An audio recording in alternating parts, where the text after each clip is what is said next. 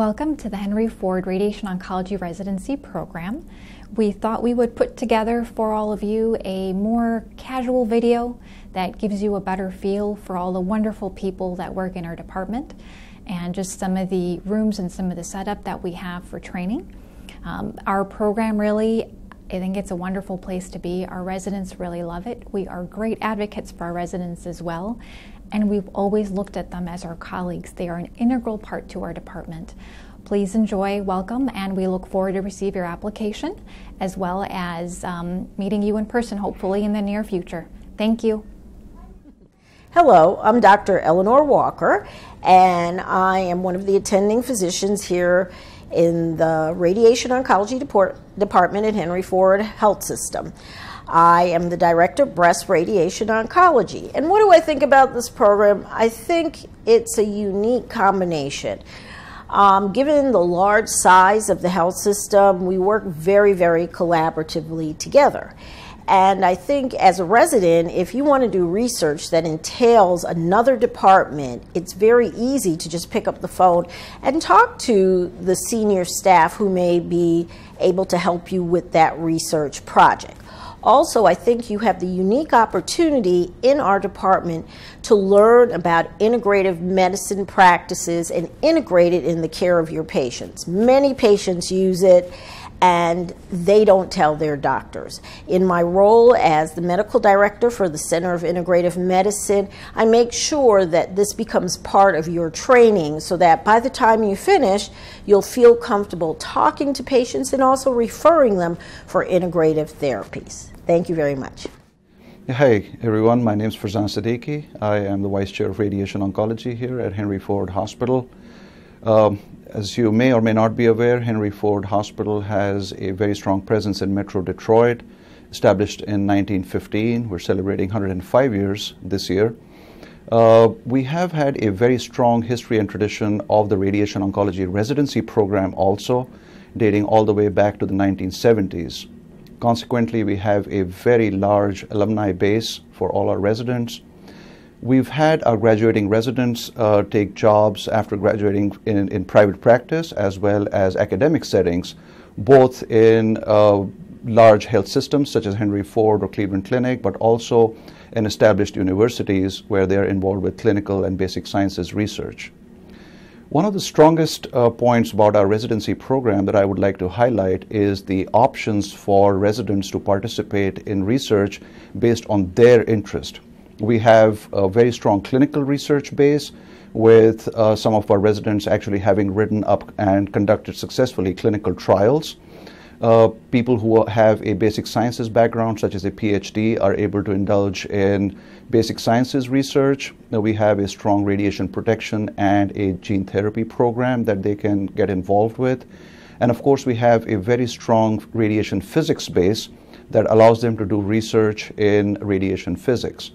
So uh, we're, we're very happy to talk to you more about these options and we, we really appreciate your interest in our residency programs. Thank you so much. What is unique about our program is that most of our faculty and staff are passionate and dedicated towards residency education. We love to teach our residents so they can take the best care possible of our beloved ones. We love to mentor them in research so they can further advance cancer care uh, to improve outcome for our patients. We provide all the resources to them to ensure their success. I'm very, very proud to be part of Henry Ford Hospital Radiation Oncology Residency Training Program and I'm very, very fortunate to work with a wonderful group of residents. Hello, everybody. Uh, my name is Daniel Chapman. I'm the PGY2 here at the Henry Ford Hospital Radiation Oncology Department. Just wanted to briefly share a few things that really uh, drew my attention to the program and brought me here. Um, early on, being the PGY2 here, I've found it to be a very seamless transition into the field. Uh, which was really attributed to the staff here from an attending standpoint. The nursing staff, therapy staff, everybody involved is very instrumental in helping it be an easy transition for me. I originally noticed it when I did my uh, month long away rotation throughout medical school. Staff is very relatable, easy to get along with, yet also very instructional and informative. They provide a really uh, good environment for us to learn here. So it's been a wonderful experience transitioning early as a PGY2 resident. Hi, my name is Evan Liang. I'm a PGY4 here at Henry Ford Radiation Oncology. Uh, part of the reason why I chose to come here uh, was I recall on my interview day uh, that the lunchroom, that the, the table that we're eating on, was actually a, table that converted into a ping pong table. Uh, and I thought that was really uh, just a reflection of how much the, the, the, program values taking care of its residents. Uh, it's just a little bit of an extra gesture, um, but I think it just really exemplifies how, uh, from the top down to the bottom, everybody's uh, interested uh, in the what residents' well-being. Hi, my name is Eric Schaff. I'm a PGY3 here at Henry Ford, and I wanted to comment on the culture of the institution as well. Um, like Samang, I also did my transitional year here. Um, and even up on the, the busy floors, the attendings always took time to teach, uh, and it was a great place to learn as well. Um, everyone's very nice. You never have to be afraid to uh, talk to attendings, ask for you know on-the-fly teaching, even from people that aren't necessarily a part of your service. So I thought it was a great place to learn from that standpoint.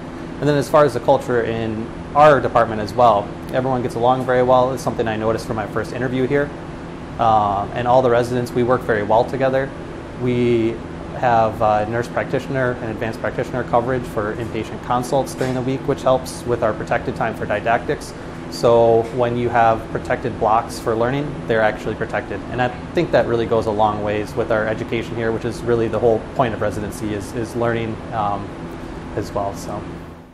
My name is Aaron. I'm a PGY5. One of the things I really love about this program uh, is our didactics, which are both resident and attending led, uh, depending on the subject and depending on the topic. Um, kind of laid back, but we do get the opportunity to have some interactive discussions.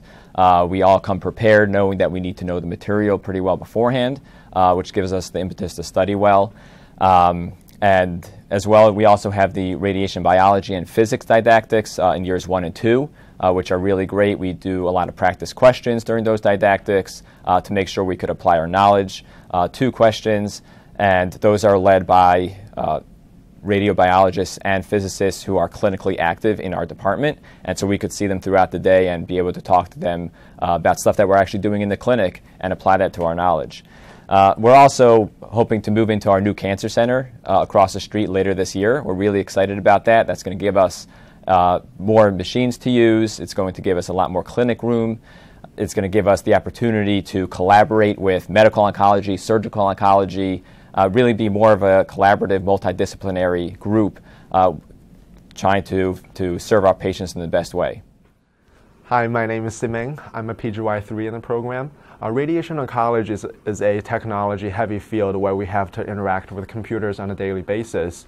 Um, fortunately, the department has invested a lot of resources um, for, for our uh, use. Um, and they have made our uh, lives a lot easier when we do contouring or treatment planning on the computer.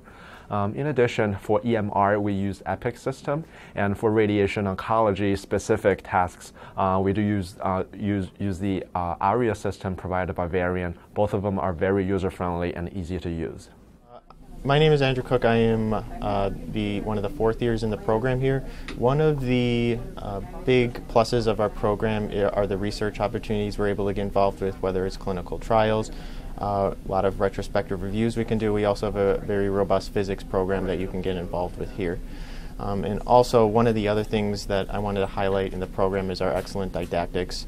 Um, we have them uh, every week. We have protected uh, time to do those.